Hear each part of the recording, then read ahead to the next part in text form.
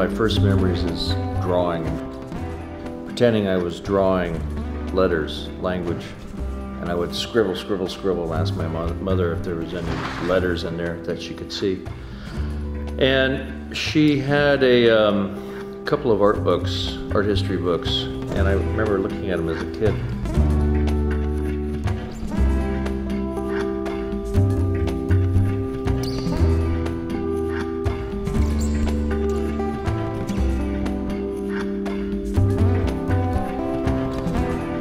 I remember with my mother looking at these art books. She had like three or four of them, and I think they're mainly black and white. But and then we would go through and look at them, and look at these great masterpieces. And then we'd go into town, and she would show me these tubes of paint at the Hallmark store, and I would open them up and smell them and grab the brush, and and I just felt it was um, a form of alchemy. You know, it was like turning water into wine. And how did these people squeeze out these paint you know, with a brush and apply it in a certain way and just turn nothing into something? And and I thought it was it was magic, and they were magicians, and I I wanted to be a magician like that.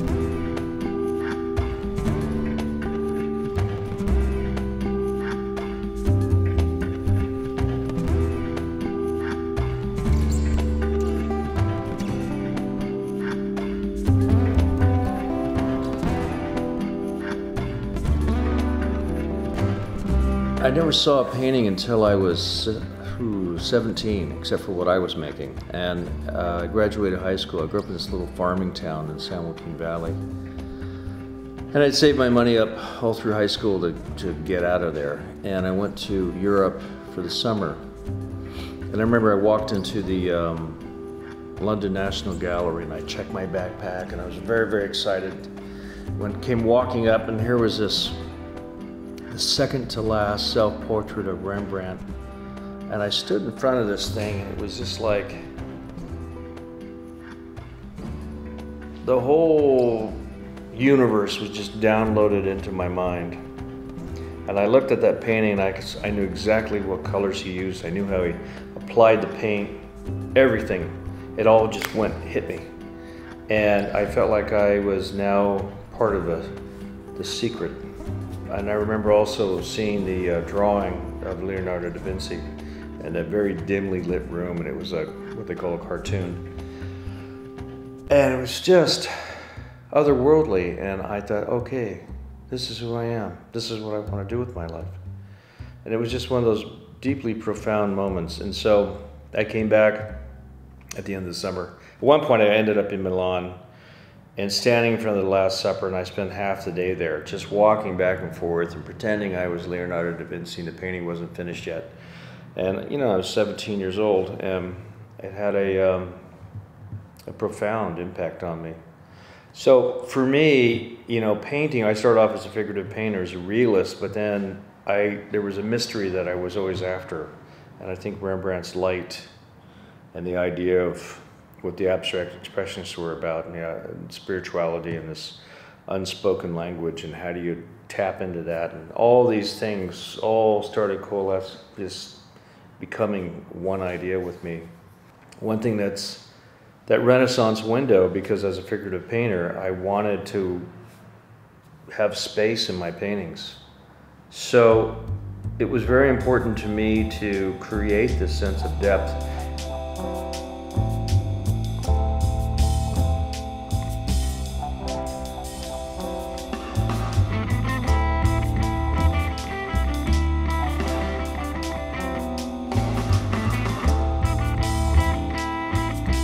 This is filmmaking.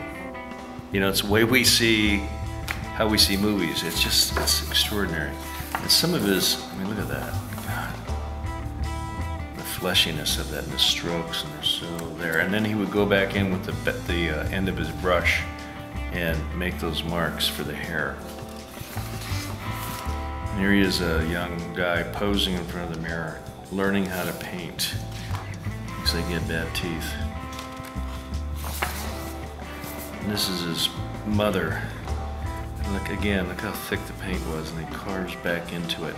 But I just love the um, the way that you know she's pulling the sense of space that he creates.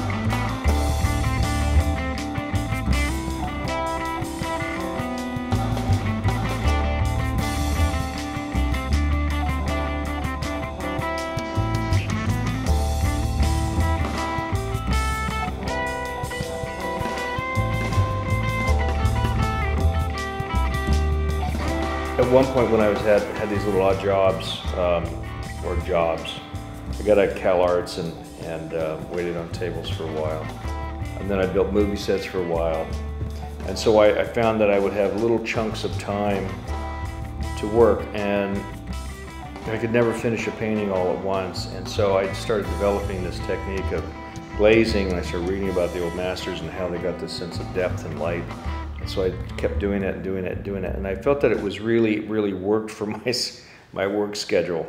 So I could work on two paintings in the morning and then go off to work. And then I come home at the end of the day and then work on them again because they'd be kind of dry enough to work on them. And, and it just developed into this whole language.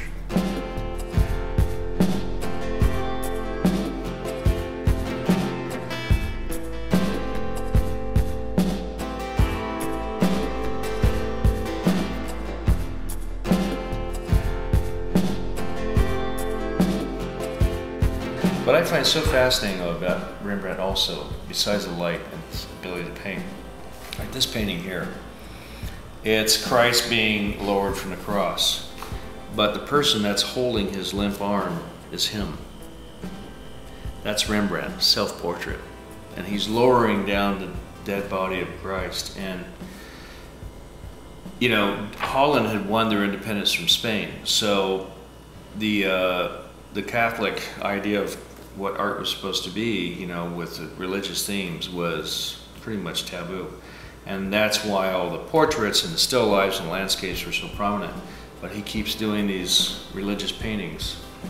I just find it so fascinating. It's like, what is he saying? As he's lowering down the dead body of Christ, is he saying that this is the end of Christianity? It's over, it's dead, and I'm watching this thing from above? Um, is this about his own spirituality?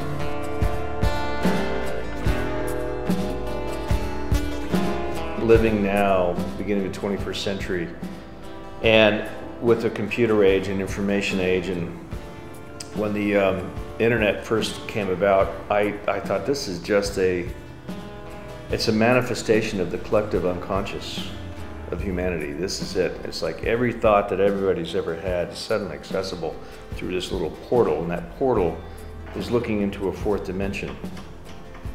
And that fourth dimension is a conceptualized space. My paintings have a conceptualized space. And the mark making that I do is figurative in the sense that it's about my own physicality. So I'm still being a figurative painter, but the subconscious moment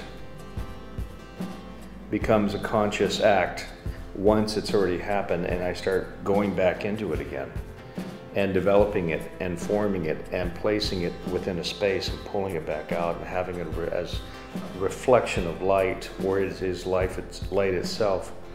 And then light you know is part of my subject matter as well as my own physicality and the idea of space